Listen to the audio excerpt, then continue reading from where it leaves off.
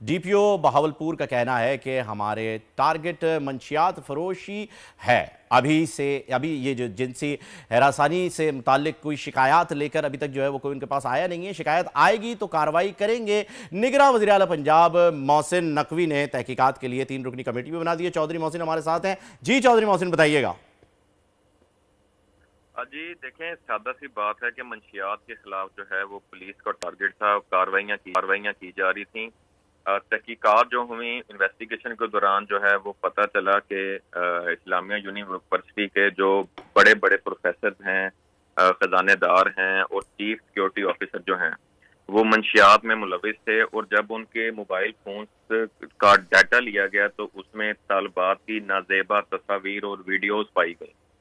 जिसके ऊपर तहकीकात करते हुए ये सारा मामला खुला है। ये पूरा एक गैंग है, एक ग्रुप है घिनौनी साजिश की जा रही थी इस्लामिया यूनिवर्सिटी में एक नया ही अपना ही एक शहर बना रखा था जो अंदर की दुनिया बाहर की दुनिया से बिल्कुल अलग थी और कुछ पता नहीं था कि अंदर की दुनिया में क्या हो रहा है तो उसी के ऊपर डीपीओ भावलपुर को मैं तो खराज तसीम पेश करूँगा कि उन्होंने बहुत सारी बच्चियों की जो इज्जतें हैं वो पमाल होने से हम्म। बचा ली हैं और इन जो घनौना ये कारोबार कर रहे थे धंधा कर रहे थे इनके खिलाफ घेरा तंग करते हुए इनको गिरफ़्तार किया है और कानून के अच्छा मुझे ये बताइएगा कि वीडियोस जो हैं वो किस नौयत की हरसानी की हैं? एक तो ये बात और दूसरा ये कि ड्रग्स की तरफ़ ही जो है मंशियात की तरफ़ ही सारा रुझान क्यों जा रहा है जबकि वीडियो सामने आ गई हैं। तो इंतज़ार क्यों किया जा रहा है कि कोई शिकायत लेकर आए?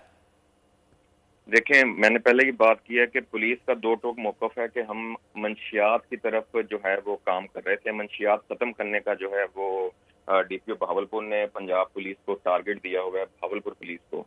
तो उसके अंदर जब तक कोई कंप्लेन नहीं आएगी, हरासगी हरासमेंट की तरफ़ से, तब तक जो है वो पुलिस खुद से कार्रवाई नहीं कर सकती। जो वीडियोज़ हैं, वो बरहना तस्वीर हैं वीडियोज़ हैं ज़बरदस्ती ज़्यादा की जा रही है बच्चियों के साथ। कुछ इस टाइप की जो है वो वीडियोस निकाली गई हैं, जिसकी जो है रिपोर्ट वो बाकायदा आईजी पंजाब को भी जो है वो डीपी भावलपुर की जानब से मुकम्मल रिपोर्ट जो है वो भेजी गई थी। जी।